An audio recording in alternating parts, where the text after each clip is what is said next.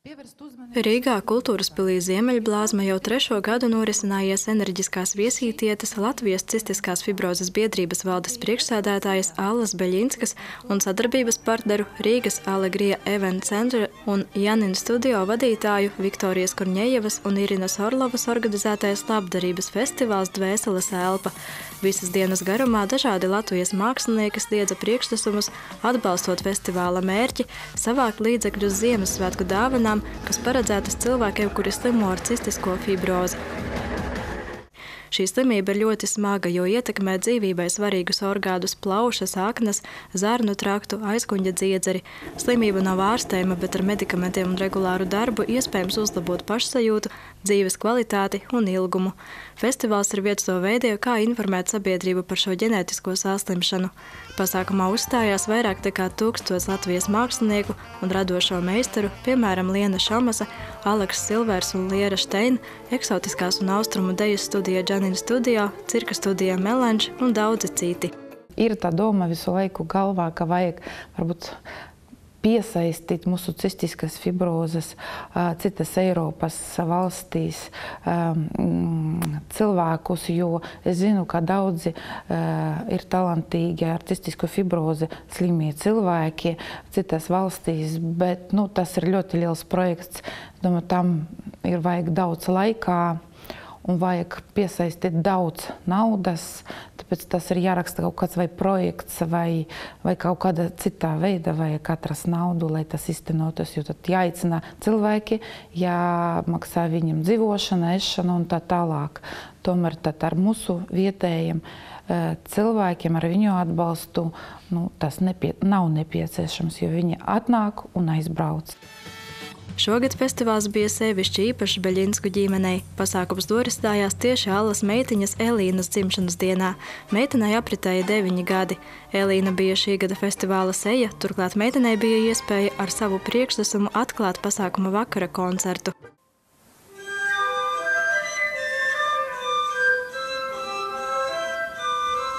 Nu, man sākumā bija nu, tā, es biju uztraukusies. Uh, Un, uh, kad mēs nospēlējām ar skolotājs maidu flautas, tad es uh, drusku drošāk jūtos.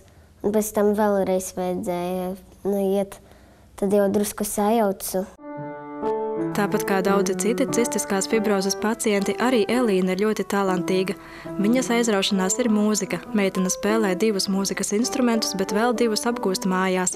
Drīzumā viņu gaida vēl viena svarīga uzstāšanās. Elīna piedalīsies starptautiskajā festivālā Ziemassvētku vilnis, kas notiks nākamgad no 4. līdz 6. janvārim Jūrmalā koncertzālē Dzintari, un kur piedalīsies daudzas jaunās zvaigznes. Spēlēju uz klavieram, ģitāras, sintezātora, flautas. Tā vispār dziedu ar tēti, kaut ko tur spēlēju, mācīju akordus gitāras. Ik gadu par skatītāju saziedotajiem līdzekļiem Latvijas cistiskās fibrozes biedrība iegādā Ziemassvētku dāvanas pacientiem ar smago diagnozi.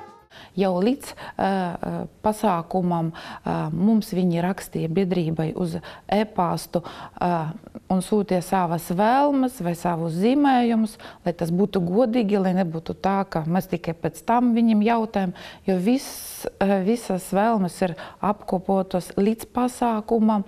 Tagad mums, protams, ir liels daudz priekšā, ka mums ir jāizpildē visi, visas tās vēlēšanas. Vēlēšanas nav tādas, kuras nevar izpildīt. Es uz, domāju par to sazidotu naudu, 2670 eiro. Mēs centīsimies izpildīt nu, visas vēlmes.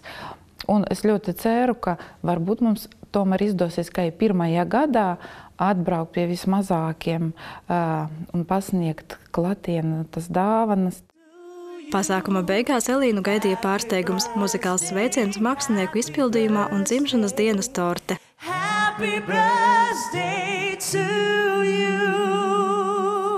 Gatavojamies torte, protams, jau laicīgi, bet eh, uz to brīdi eh, nu, mēs nezinām, kas paliks un kas būs. Un mēs pasaucam tos pēdējos, kuri uzstājās. Un, jā, tas bija ļoti forši un patīkami. Un mēs pēc tam, kad viss beidzās, visu to torti apēdām virtuvi. Visi, kas bija, mums vēl bija salūts ārā un torte ešana iekšā. Un palika vēl daži bērni, tie vecāku, kurie um, palīdzēja visas tajā dienas garumā. Bija vēl tā svētku sajūta. Festivālu Dvēseles elpa atbalstīja kultūras pilsēta Ziemeļblāzma, viesītas dovada pašvaldība un vairāki uzņēmumi, Arvīda Žilinska, Jēkabpils mūzikas skolas direktore Smaida Šķerbicka.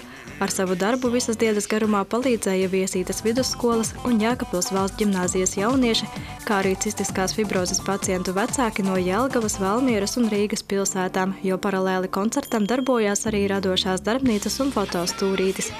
Jau zināms, ka festivāls norisināsies arī nākamgad, 19. novembrī Rīgas kultūras pilī Ziemeļblāzma. Dvēseles elpa ir pasākums, kas apvieno lielu pulku Latvijas mākslinieku un apliecina, ka vajadzības gadījumā iedzīvotāji spēja vienoties sirds siltumā un sniegt roku līdz cilvēku atbalstam. Sandra Pēgiļkalna, Kārlis Bukacinskis, Vidusdaugavas televīzija.